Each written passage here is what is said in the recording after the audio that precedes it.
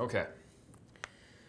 All right, so I'm going to go through this fairly quickly because we're a little bit short on time. What I'm going to try to do is get through the theory, start this script, and then send you home with some homework. Try to, to run some of this script yourself tonight, and then we can come back tomorrow morning and visit any problems you had and finish it up. So the, the role of genomic selection in the big scheme of markers and crop improvement is simply to provide predictions. Okay, and typically we're going to be using it in a breeding program, uh, and we're going to use the predictions for making selections, and we're going to be making the predictions on elite germplasm that makes up our breeding program. So, in a little bit of terminology surrounding genomic selection, we have what we do, we combine the DNA marker data, our SNP data, or whatever type of marker it is, with our phenotypic data, we call that the training population, or the estimation set, or the calibration set. It's known by lots of different names. We combine that together, we form a statistical model relating the genotypes and the phenotypes, and we use that statistical model to predict the genetic value of individuals that have been genotyped but not phenotyped. And then hopefully these predictions are pretty good so that we can use them for making selections and make genetic gain in a breeding program more rapidly. The difference between this approach and a traditional marker-assisted selection approach is we're not doing QTL mapping. We're not first identifying which genes we think or which markers we think are really important for our trait and using only those for making selections. We're simply combining all the DNA marker data together and building a single statistical model and making selections on that. There's no statistical testing going on here. And the reason we like this is because it typically, for complex traits, it typically works better than taking a traditional marker-assisted selection approach. Okay, and that's demonstrated in these two figures here. I should say this figure on the left is a figure out of this paper by um, Bernardo's group in 2009 where they looked at about, I think, 36 different combinations of traits and populations and compared genomic prediction accuracy with marker-assisted selection prediction accuracy or traditional marker-assisted selection prediction accuracy and showed that prediction accuracy from the genomic prediction worked a lot better oftentimes and at least as well always than marker-assisted selection. All right, so I want to back up a little bit here and give uh, a tad bit of history. So way back in 2000, uh, Whittaker et al., these authors, pointed out that there's really no satisfactory way of doing marker-assisted selection. There's no perfect subset of markers that, that works really well or not, there's not an entirely satisfactory way to choose these, this subset of markers. And they wanted to use an approach that allowed them to estimate the effects of all the markers simultaneously. And the, the statistical approach that they took was is, is called ridge regression. Yeah. And so what you're basically interested in is you're interested in a subset of markers. Uh, I guess this is the, the old-fashioned approach. I shouldn't say old-fashioned, the traditional marker-assisted selection approach, where we're selecting out the subset of markers, let's call it subset Q, and we're estimating the effects of each of those markers, and we're summing all those up to get an estimate of our genetic value, which we're denoting here is, is uh, A hat. And we estimate those effects using our ordinary least squares estimates represented by this equation here. Okay? These x's here contain, these are incidence matrices for the markers, and y is our, our phenotypes. So we can't include all the markers we can't estimate the effects of all the markers simultaneously, especially if the markers, the number of markers exceeds the number of individuals in our population, which is nearly always the case in today's environment of high throughput, uh, high density genotyping. So even if we did have enough individuals, if we had fewer markers than individuals, and we fit all the marker effects simultaneously, uh, we would have probably an overfit model and it would increase the variance of our betas, which is bad. And like I said, oftentimes we don't have enough degrees of freedom in our population to estimate all those marker effects simultaneously. So this isn't going to work. So, we, so we're evaluating this approach called ridge regression, where basically we're adding this lambda i to our ordinary least squares estimates. And what this essentially does is it shrinks the marker effects down towards zero, but allows us but it, it, it, it, reduces the variance on these marker effect estimates. Okay. And we want to choose a lambda here that minimizes the model error. And again, the addition of this lambda to this, this uh, cross product matrix here uh, reduces the collinearity. Okay. And I should point out that if you have a situation where the number of markers exceeds the number of individuals or the number of columns in this X matrix here exceeds the number of rows, this X prime X matrix here is, is uh, not full rank, so you can't take the inverse of it, so you can't even do it. So that's why we need to take this different approach called ridge regression. And this prevents the X prime X matrix from becoming singular. And what the, these authors showed was that the ridge regression approach, uh, when you applied this to multiple cycles of selection within a simulation, it oftentimes worked better than the subset, or it always worked better than the subselection, subset selection approach. All right, and then everybody, well, people who are familiar with genomic prediction uh, know this Meuwissen paper, 2001 paper. They, they took a, uh, they also, or they asked a similar question and they wanted to compare different statistical models for their accuracy in predicting total breeding value. And what they did was a computer simulation. Uh, they had 2,000 individuals and they wanted to estimate 50,000 haplotype effects or marker effects. Okay? And again, they compared prediction accuracy here is on the y-axis, is the correlation between our genomic estimated breeding value and our true, our true breeding value. And if we calculate, or, or if we calculate our genomic estimated breeding value with our ordinary least squares estimates, you can see that it's often, or it is uh, quite inferior to the genomic selection models, the models that include all the marker information in them. All right, so again, in a genomic selection approach, we oftentimes have this, what we call the large P, small n problem. We have more marker predictors to whose effects we want to estimate than we have observations, so we need to use these special models. Ordinary least squares estimates aren't going to work anymore, so we use things that uh, we call shrinkage models. We shrink the effects down towards zero, uh, and we use things called variable selection models, which often come in a Bayesian flavor, and machine learning models. We don't have time to go into each of these uh, in much detail, but I do want to point out that you know if we go back to our baseline model here, where our uh, we model our phenotype here with a summation of marker effects. The question is, how are these marker effects distributed? Okay. And if we have more predictors or more marker effects to estimate than we do variables, then our solution to this problem is we fit these marker effects as random. And what this essentially does, it, it constrains these marker effects to fit some distribution, okay? And the question is, what distribution are these marker effects being sampled from? Or how are we constraining these marker effects? And there are lots of different um, flavors of these out there. Ridge regression assumes that these marker effects all come from a common normal distribution that has a variance, uh, that, oh, that, has a common variance that is estimated from the data. Uh, Lasso approach would assume that these marker effects come from a double exponential model that has, that, whose shape is dictated by this lambda, lambda parameter. Or we might take a Bayesian approach, a variable selection approach called Bayes C pi, uh, where we assume that where our marker effects come from uh, either they're set as zero or they come from a normal distribution, again, with a common variance, okay? And then the, the probability that each of these marker effects come from these two different distributions is set by this parameter pi, which in Bayes pi is actually estimated from the data.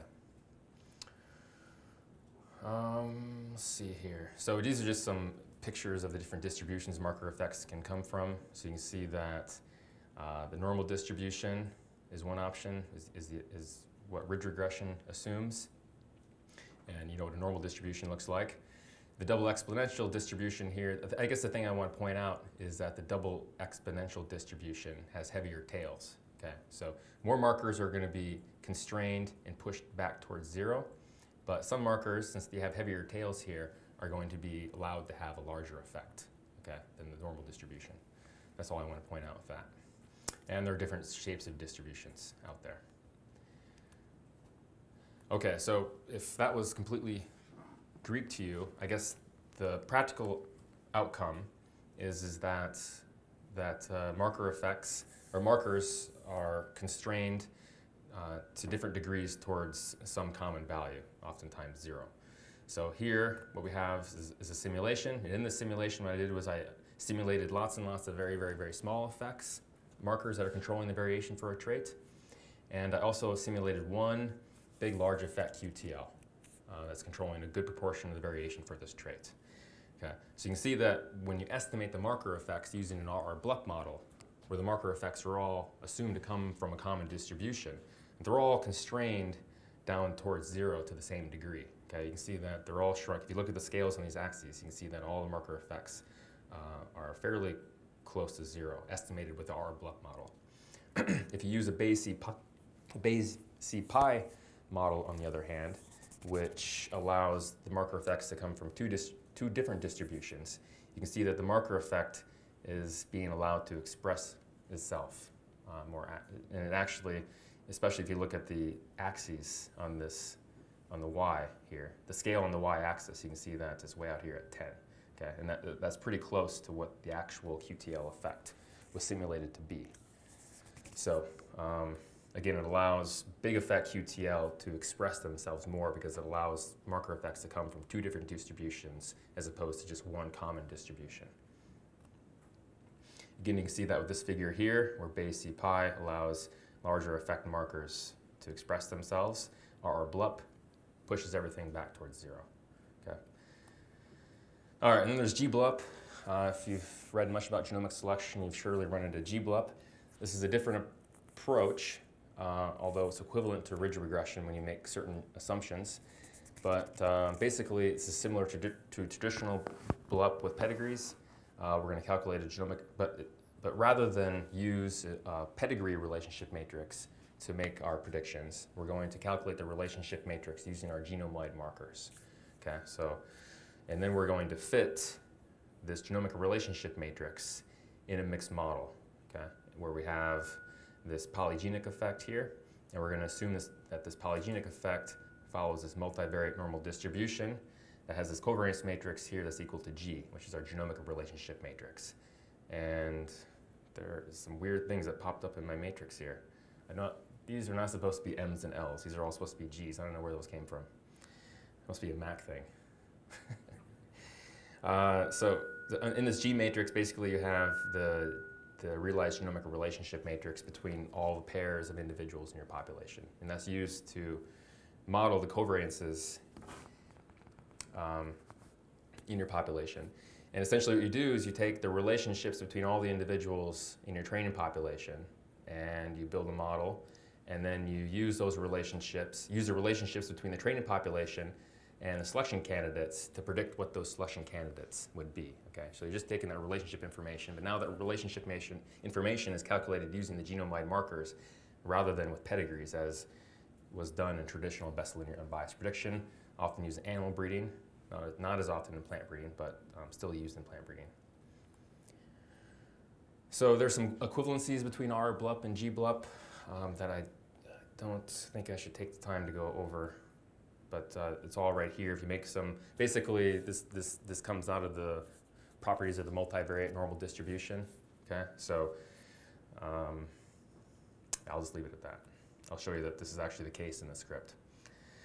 And then factors affecting prediction accuracy. There are some equations here from a couple of different papers that, that take some basic properties like population size, heritability, and this thing we're calling effective number of loci, and using it to predict what your prediction accuracy might be under these conditions, or your expected prediction accuracy. So prediction accuracy here is again the correlation between the true breeding value and in the context of genomic prediction, is the genomic estimated breeding value and representing that here with this R sub uh, U and the U hat, okay? And you can see what these equations are functions of. The difference between this equation here by Daetwyler and this equation here recently provided by uh, Bernardo's group is that this equation actually takes into consideration the average uh, LD between um, a marker and a QTL. And you should see this reference for details on how to calculate that. Um, I should point out that in this equation you see this effective number of loci term here. This basically represents the number of independent, let's call them independent chromosomal segments whose effects you need to estimate. And the more diverse your population is, the more of these things you're going to, you're going to have.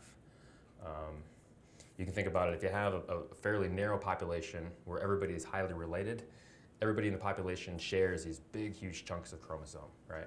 And it's pretty, uh, and, and, LD extends for, for, for a long, long ways. So it's pretty easy to, rep, to, to estimate what the values of these big chunks of chromosomes are.